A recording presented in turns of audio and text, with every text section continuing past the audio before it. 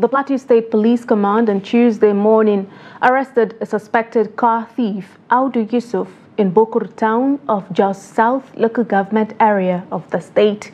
The suspect was arrested alongside a painter, Isma'il Alhasan, allegedly comprising conspiring with the car thief to change the color of the stolen vehicle. The prime suspect, who claimed to be from Nasarawa State, said he was given the vehicle by a friend at about 1.30 a.m.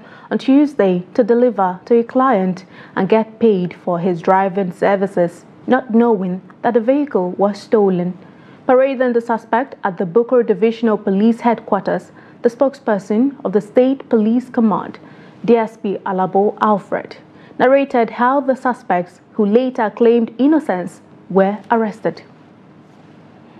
Um, after receiving a phone call from our colleagues from Abuja about a, a young man that was robbed in FCT Abuja and that the car has been stolen and they are rotating to our end. That is coming to Plateau State with this vehicle. The Commissioner of Police, being a very proactive police boss, directed the DPO um, DPOB division SP Gufu Banmun to immediately swing into action and ensure that the vehicle is recovered and also the suspects are arrested. He is a very good friend of mine. I know him for years. He came to my place in the yesterday night. He told me that please I should help him and drive this motor to Jos. Now I said okay. He said that he's going to find me something. Then he gave me 3,500 that I should hold it first. I said, let me get something so that in case of incasity. Not knowing that the car is a stolen car. This morning I came to Jos.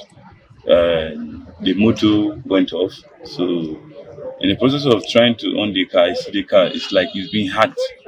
Then I told him that, I called him on phone, I told him what happened and this phone, this motor is not starting.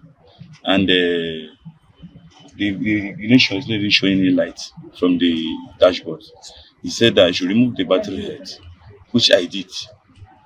He said I should still put it back. I did. The motor did not start.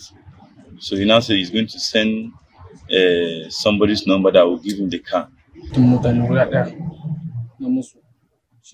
I don't know much about the owner of the car. All I know is that there was a time he sent a car to me to paint. This is the second time he is sending the car to me to paint. He called me this morning to say that someone is bringing this car. This is what I know.